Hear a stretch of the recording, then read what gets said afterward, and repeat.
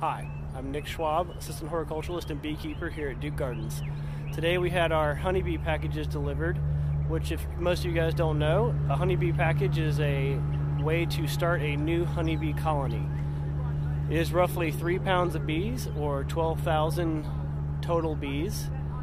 It comes with a queen, and all you have to do is place the queen in the hive, shake the bees in, and you're ready to go. So today I'm going to show you guys how we install them here at Duke Gardens. Alright, so we're back at it. I got my bee suit on and my gloves and we'll get this package installed real quick.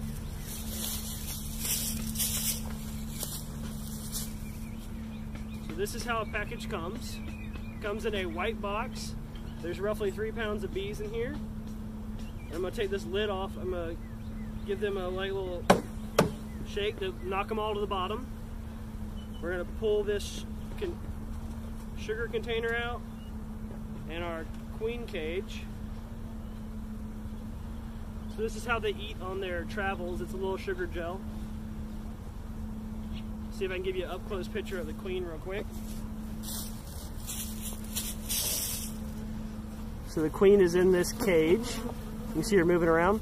There's a little candy plug right here that the bees are going to eat to let her out once they've accepted her.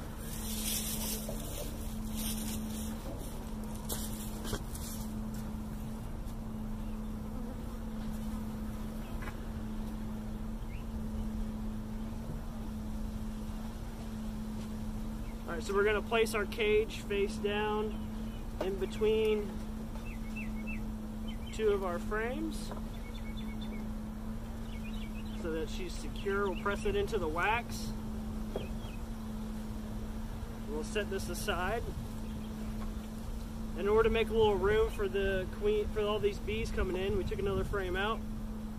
Now we're going to give them a spray of sugar water so they can't fly as easily. A safe way of doing it.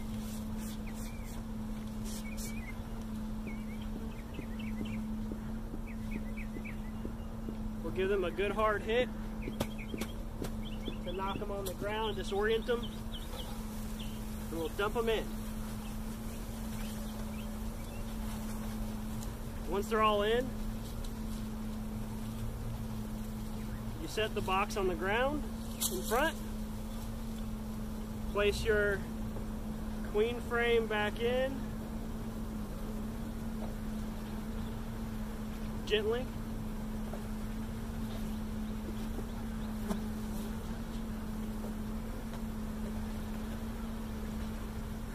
Then we'll put our feeder on top. And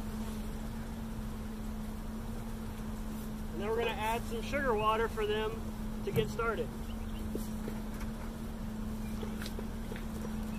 This is a one-to-one -one sugar to water ratio that I made earlier. This will get them started since it's a new colony.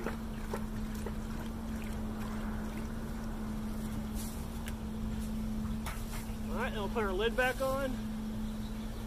We're done.